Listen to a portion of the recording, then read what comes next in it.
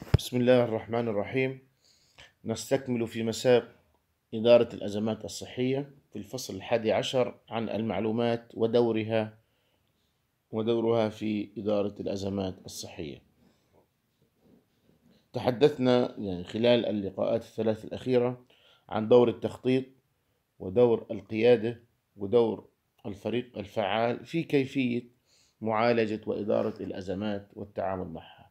كما لتلك النقاط أهمية أيضا تسبق كل هذه الأمور المعلومات ودورها المهم في إدارة الأزمات التي تعتبر حجر الأساس للتعامل مع الأزمة ووضع كافة الإجراءات والتدابير اللازمة للتعامل مع الأزمات. بداية بقبل الحدوث وذلك من خلال التنبؤ المعتمد بالدرجة الأولى على وصول المعلومات والتعامل معها وقراءتها وتحليلها المستفيض مرورا بوضع الخطط آه، خطط التعامل وإدارة الأزمات ووضع سيناريوهات والتصورات الفكرية للتعامل ثم وضع البدائل وكيفية اختيار البديل الأفضل حسب ما هو موجود وتساعد في اتخاذ آه، القرار وصولا إلى حالة من الاستقرار للمؤسسة في حال وجود آه، الأزمات وانتهاء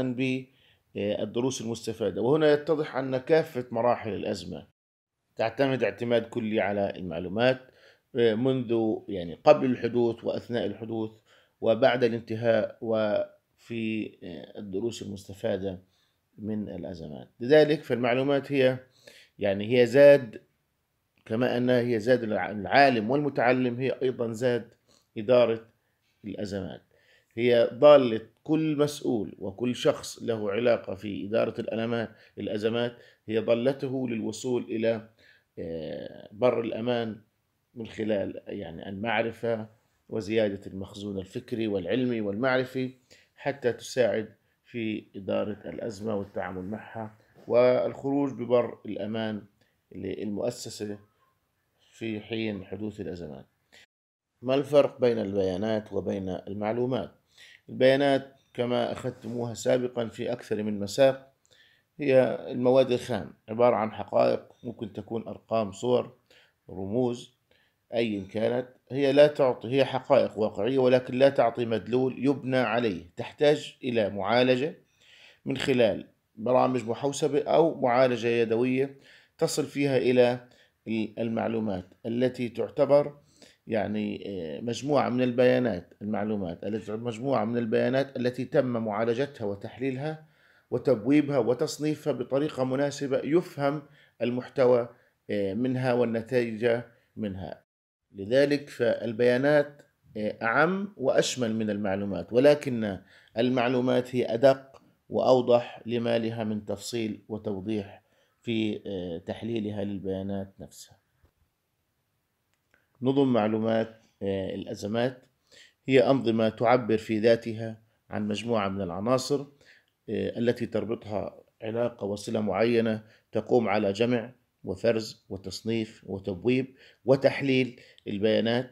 أيضا حفظ البيانات وسهولة استرجاعها عند الحاجة آه، ممكن أن تقدم إلى متخذ القرار من أجل اتخاذ القرار المبني على المعلومة والمسند معرفيا.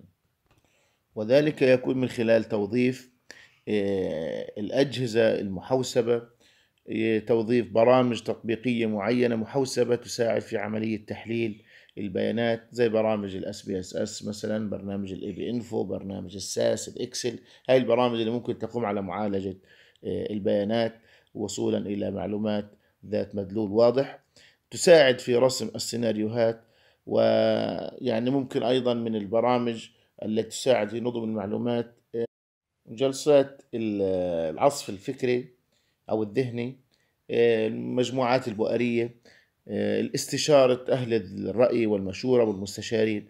وكل هذا بهدف يعني البعد عن استعمال أو استخدام النزعات العاطفية والتقدير الغير مبني على المعلومة تقلل من احتمالية الخطأ. مهام أنظمة معلومات إدارة الأزمات. أولا الحصول على كافة المعلومات والبيانات الخاصة بالأزمة وصانعي الأزمة وسير مجال الأزمة وتطورها. يعني بنقول عنها data collection أو مرحلة الجمع البيانات أولا بأول. اثنين الاستغلال الأمثل والاستخدام الفعال لكافة البيانات والمعارف التي ترد وذلك من خلال تحليلها وقراءة النتائج التي ترد والآن سنتحدث عن مثال. ثالثا ضمان تدفق المعلومات في موقع الأحداث في حال حدوث الأزمة والتحليل أولا بأول والتقديم ورفعه لمتخذي القرار في المؤسسة. رابعا توفير كافة الإجابات المناسبة التي يطرحها مدير آه، الأزمة. أو رئيس فريق إدارة الأزمة ومدير المؤسسة نفسها. ويعني كمثال آه، عند الاطلاع إلى آه، منحنيات لها علاقة برصد الأمراض المعدية أحيانا تجد أن هناك زيادة واضحة في المنحنى مقارنة بالأشهر أو فترات سابقة. هنا يعني يجب أن تكون الإجابة واضحة. هل هي زيادة موسمية؟ هل هي زيادة لها علاقة بنشاط آه، قسم الوبائيات والطب الوقائي في نحو رصد الأمراض المعدية على سبيل المثال أو أنه بالفعل عندنا زيادة غير متوقعة تعني أن هناك وباء. وهذا طبعا يعتمد على الحصول البيانات إدخالها على برنامج محوسب وتحليلها واستخدامها بشكل مناسب وأولا بأول يتم التحليل وقراءة تلك النتائج ورفعها إلى متخذ القرار. أهمية المعلومات في إدارة الأزمات. أهميتها أهمية كبيرة جدا والواضح والمعلوم أن أي قرار اتخذ بطريقة سليمة كان نابعا ومعتمدا على المعلومات الكاملة والوافية والدقيقة والصحيحة وفي وقتها وأن القرارات الغير سليمة والغير واعية كانت بناء على يعني من أسبابها غياب المعلومة الدقيقة و الصحيحة والواضحة والتي يجب أن ترد في وقتها. ولكن آه، أهمية الدور الحيوي للمعلومات في إدارة الأزمات في عدة نقاط. أولا تجنب المفاجأة. وهذه تحدث في حال عدم توفر المعلومات وتقدير وقراءة المعلومات التي ترد في حال قصورها في عدم التعامل معها في الوقت المناسب فغالبا تكون الأزمة على درجة عالية من الحد. لكن عند التعامل الصحيح وتقدير واقع المعلومة والتعامل معها وفي وقت مناسب تجنبنا المفاجئ وهذه أحد وأبرز آه، إيجابيات آه، المعلومات في وقتها. سرعة اتخاذ القرار وتحقيق الأهداف وهذه من المهام أو من الإيجابيات الكبيرة للمعلومات وتلعب دور كبير جدا في حال ورود المعلومات والتعامل معها بشكل دقيق تساعد في المسؤول على اتخاذ القرار المناسب حسب آه، طبيعة الحال والموقف. من الأدوار الحيوية أيضا ضمان التوصل للقرار السليم بعيدا عن أي انطباعات خاطئة لدى صانع القرار أو متخذ القرار. يعني هنا زي ما حكينا في النقاط السابقة أنه لها علاقة وصول المعلومة والتعامل معها الدقيق والصحيح والتقييم الجيد لها وقراءتها في الوقت المناسب واتخاذ القرار بناء عليها بعيدا عن الهوى الشخصي أو الانفعالات أو آه، خلينا نقول النزعات العاطفية اللي ممكن تكون سبب من أسباب عدم تقدير الموقف والحكم الخطأ. لذلك المعلومة الجيدة تساعد في الوصول إلى القرار الحكيم والسليم وفي وقته حسب طبيعة الموقف. أيضا من الأدوار الحيوية زيادة المرونة في اتخاذ القرار لمواجهة الأزمة والتداعيات المحتملة لها. وهذا الدور يعتمد بالدرجة الأولى على استمرار تدفق ووصول إلى المعلومات إلى مركز القيادة وإدارة آه، الأزمة اللي بناء عليها يتم التحديث أولا بأول واتخاذ التعديلات والإجراءات التي تناسب التوقيت الجديد فيما يتعلق بتداعيات الحدث واستمرارية التغيير فيها. من الأدوار أيضا تعظيم الإمكانيات والقدرات الخاصة آه، بإدارة الأزمة. هذا الدور يمكن أن يتحقق من خلال تحقيق أفضل استثمار وتوظيف للإمكانيات والموارد آه، في حال وجود الأزمة الموجودة داخل المؤسسة والاستفادة منها بشكل أكبر. أيضا من خلال توفير البدائل آه، واختيار البديل الأمثل بناء على المعلومات التي ترد أولا بأول فيما يتعلق بإدارة الأزمة وتجاوز آه، المشكلة الموجودة. كذلك زيادة القدرة على التحكم في ضبط واقع الأحداث بشكل عام فيما يتعلق بالأزمة أولا بأول والاستفادة أو الدروس المستفادة من آه، آه، إدارة الأزمة وطبيعة الأزمة وحدوث الأزمة ومآلاتها وما انتهت إليه الأمور. أنواع المعلومات لها عدة تصنيفات. تصنيف من ناحية مصدر المعلومة كمعلومات داخلية أي أنها عبارة عن حقائق والأحداث والمعلومات التي تتعلق أو تأتي من داخل المؤسسة وتعطي صورة عن طبيعة سير المؤسسة وأشخاصها وأفرادها وموظفيها والوحدات فيها. معلومات خارجية والمقصود فيها مجموعة المعلومات والأحداث والبيانات التي ترد من خارج المؤسسة من خلال الأشخاص أو المؤسسات ذات العلاقة والتي تؤثر في المؤسسة من خارجها. التصميم من وجهة نظر الإدارة في معلومات محاسبية أو إدارية محاسبية مقصود فيها يعني لها علاقة بالجانب التفصيلي له علاقة بالأرقام وإدارة المال والتفصيل فيها. بينما الإدارية بتكون يعني إجمالية أكثر غير مفصلة ممكن تكون من خلال اختصارات آه، ورسومات بيانية تعطي صورة عامة دون التفصيل. في آه، تصنيف المعلومات الإدارية حسب المستوى الإداري سواء إدارة استراتيجية أو معلومات المستوى الإداري في الإدارة العليا وعادة تكون بعيدة المدى حسب المستوى الإداري الموجود وتتعلق بمعلومات لها علاقة بمساندة الرؤى والأهداف واستراتيجيات المؤسسة. المعلومات التكتيكية أو بسموها الوظيفية هي التي تخص المستوى الإدارة المستوى الإداري في الإدارة آه، الوسطى وغالبا بتكون معلوماتها لها علاقة بالأكشن بلان أو خطط العمل اللي بتكون قصيرة الأمد بعيد غير آه، المعلومات الاستراتيجية وتتعلق بالأنشطة وطبيعة العلاقة ما بين بالأنشطة الخاصة بالإدارة التنفيذية بناء على توجيهات من الإدارة العليا. المعلومات التنفيذية هي يعني تأخذ الجانب التفصيلي بشكل عام أكثر من آه، الإدارة أو المستوى المعلومات الاستراتيجية أو التكتيكية. ففي التنفيذية بتأخذ جزء من المعلومات التفصيلية ولا علاقة بطبيعة العمل اليومي ويعني أولا بأول.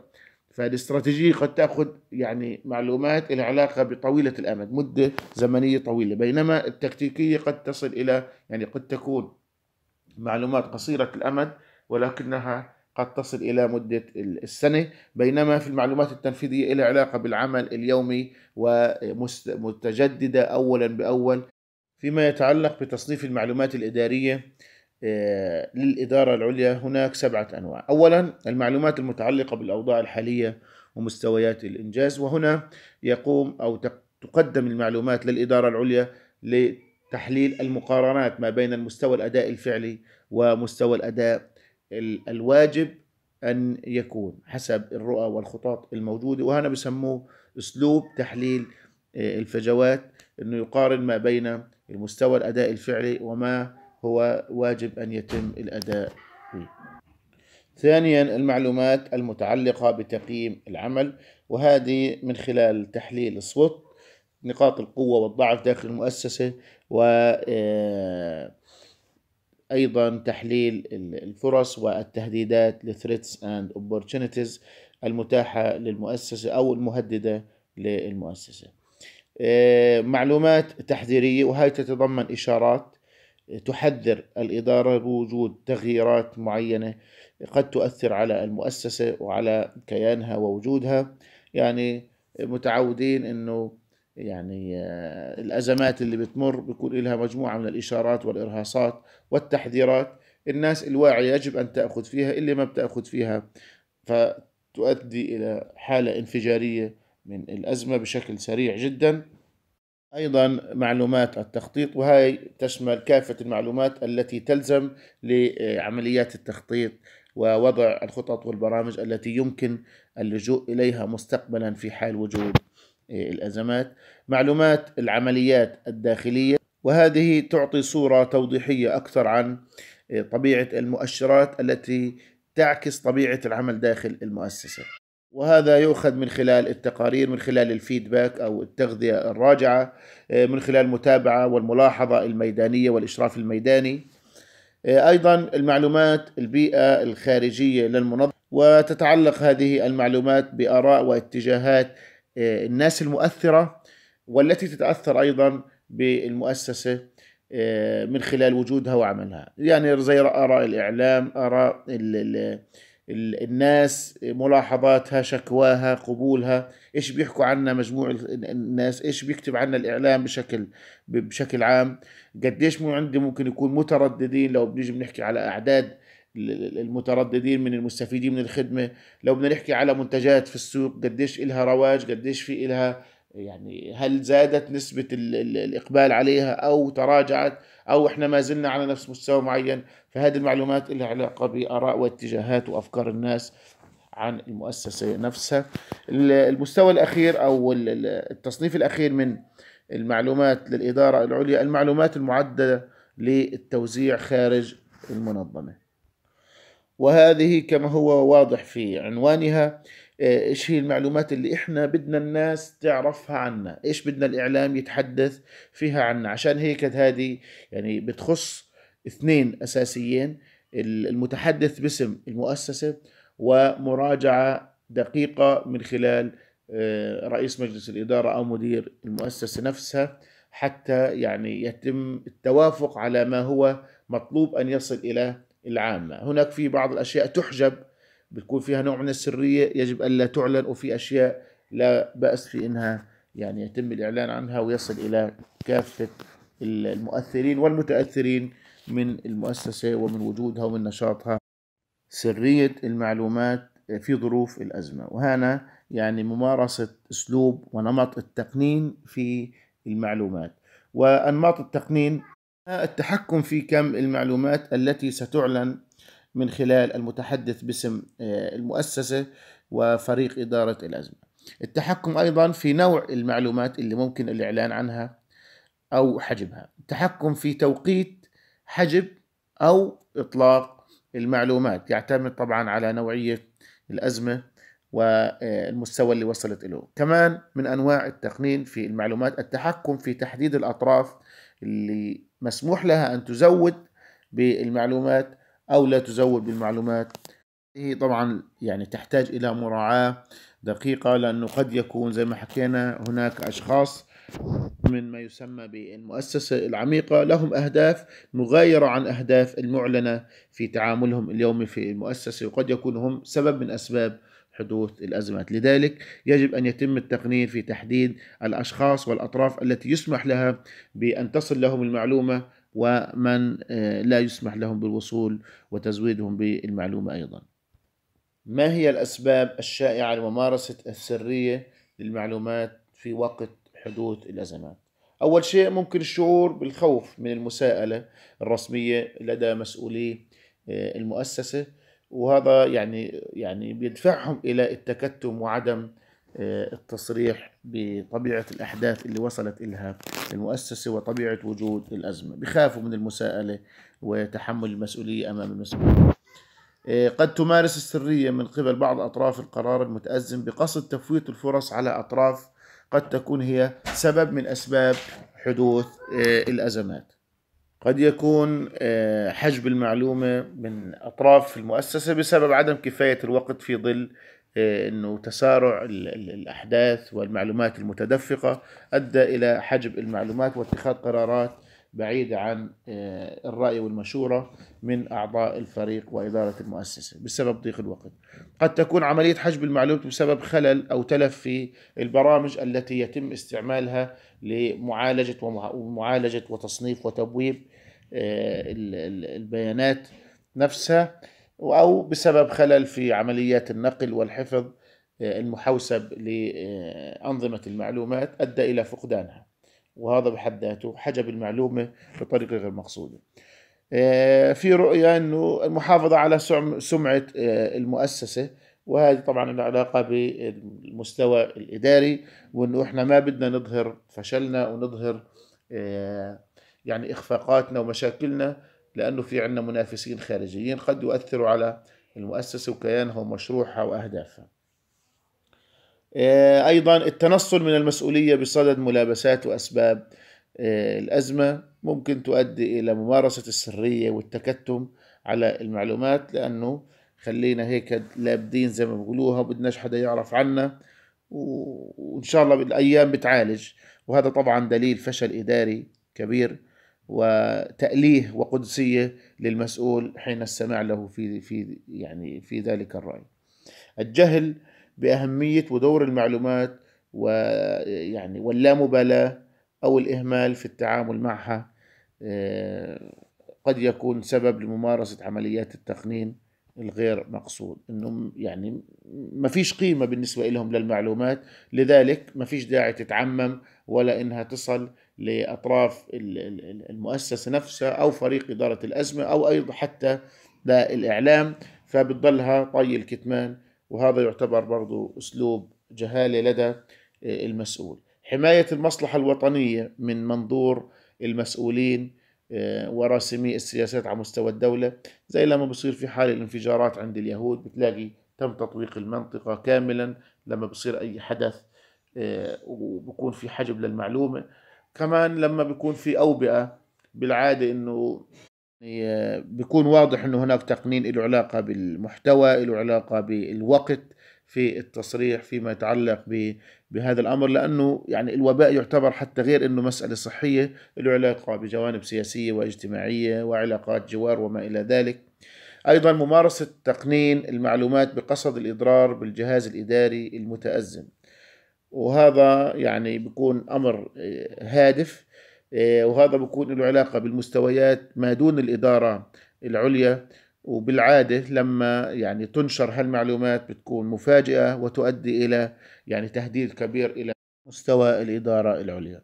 آخر شيء ممارسة تقنين المعلومات بقصد إعاقة عمليات الوقاية التي قد تتخذ لمنع يعني وجود الأزمة وانهيار المؤسسة وهذا له علاقة زي ما حكينا قبل هيك بالمؤسسة العميقة أو الأشخاص الذين يظهرون ما لا يبطنون ويكونوا هم سبب من أسباب تهديد المؤسسة والإضرار فيها. بهيك بنكون أنهينا الفصل الحادي عشر نحو المعلومات ودورها في إدارة الأزمات. نستكمل في الفصل القادم إن شاء الله أهمية الوقت في إدارة الأزمة.